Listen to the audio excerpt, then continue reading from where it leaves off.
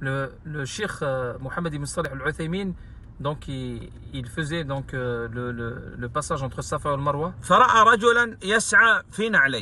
Et il a vu un homme donc qui, qui, qui, marchait avec, dans ses sandales.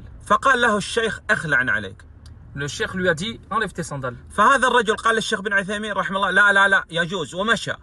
Cet homme a répondu au, au Cheikh al-Uthaymin non non non c'est permis.